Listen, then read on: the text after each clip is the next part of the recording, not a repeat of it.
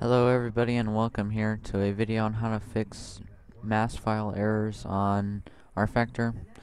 Uh, I know I had issues with this with rFactor and I never actually found a solution to it. I tried different things but I really couldn't um, find an answer. So uh, I hope this helps. I know it might not fix all MAS file errors but it should hopefully help uh, with some people's, because I know it helped with mine.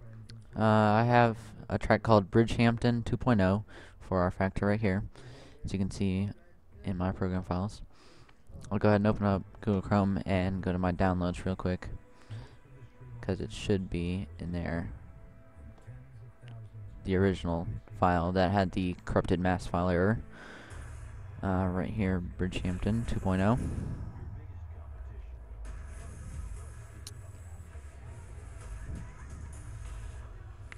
There we go. And so here it is, Bridgehampton 2.0. And I'll go ahead and drag this into my locations folder on rFactor here. And there it is, so Bridgehampton 2.0. If I open up my rFactor right now, uh, hold on, let me make the window a little bit smaller.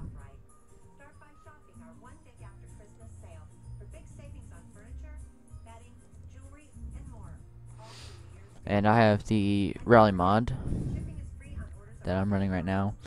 But this should work for with like regular in-game and all other mods really.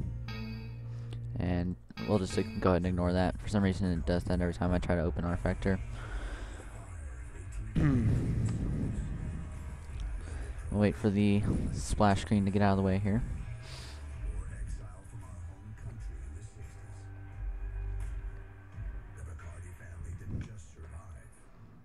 Excuse the lag. Usually it's not this laggy. It's just because I'm recording with Bandicam.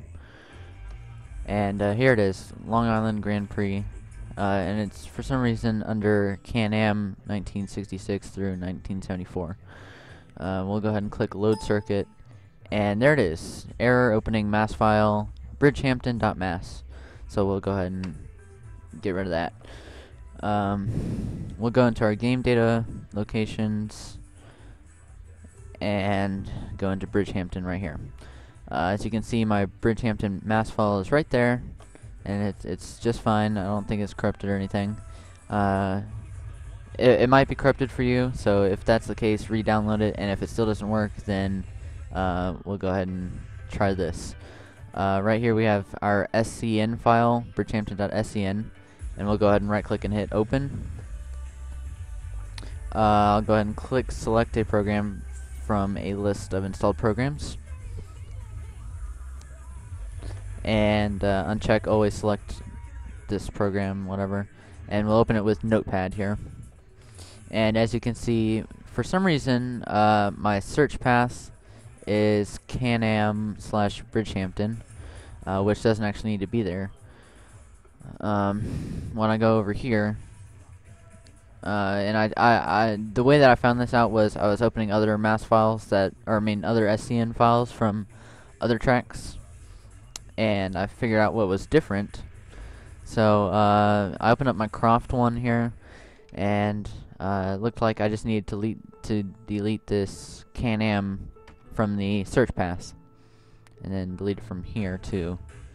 And as you can see, the file folder right here is Bridgehampton 2.0. So we'll go ahead and type that in the search path too, 2.0. Um, 2.0. And there we go. There's now our search path is fixed here. And also what I found also was this common maps file was at the top.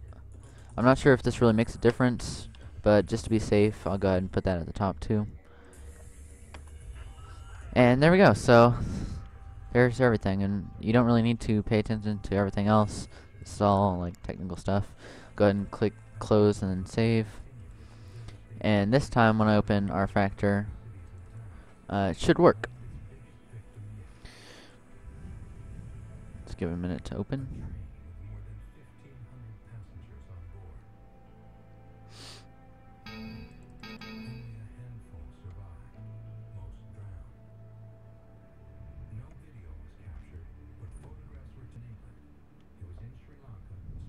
Oh, what's going on here? Okay, there we go.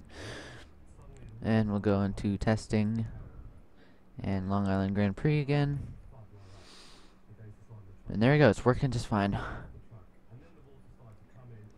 I don't know why it was like that in the folder in the SCN file and everything. Uh, I don't know why it was like that, but that's just a quick fix on it. And it works just fine, as you can see here. And it's to be kind of loud, so yeah, but it works. And that that should hopefully help. Um, other people, it, you might get more errors, uh, like different than the MAS file errors, or maybe it looks just fine in the SCN file, and I'm not sure what to do there, but um, yeah, Th this is. I hope this helped. It might not fix all MAS file errors, but it should hopefully help.